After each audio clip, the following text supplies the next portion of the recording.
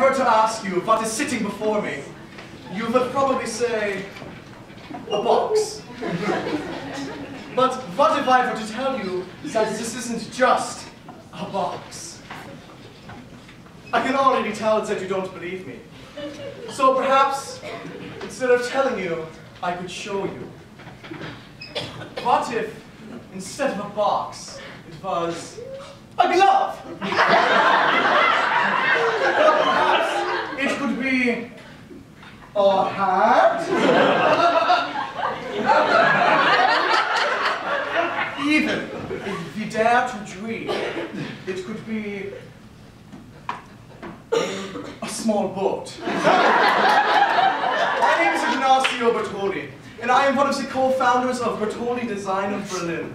BDB. BDB. BDB. BDB. Our initials are everywhere. But my guess is you've probably never even heard of us. That is okay. I'm not offended. we don't want you to know our names.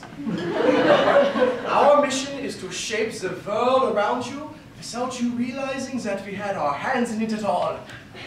I know this sounds crazy. So perhaps, instead of telling you, it would be easier to show you. This police car is one you probably see on the street every day. But did you know that it was designed by Bertoli? Probably not, but here's the really amazing part. This car is made entirely of cardboard boxes. but if I didn't tell you that, never even. We're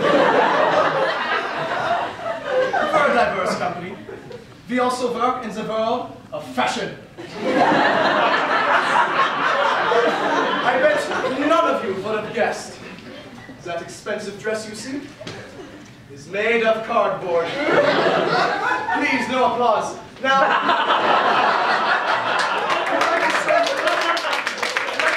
things go from magic to making a difference. These are pictures of a neighborhood located in the worst part of Berlin. As you can see, it was full of poverty and crime. Then the city enlisted the help of BDB to revitalize the community, and we got to work.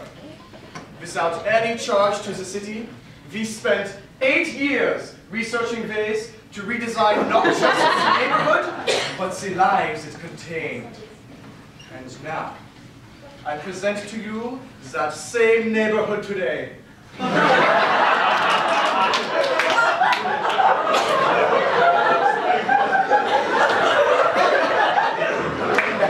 Design isn't just about making things look good. It isn't about going to art school to learn some fancy skills. It is about crafting a better world.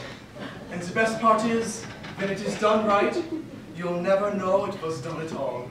Thank you.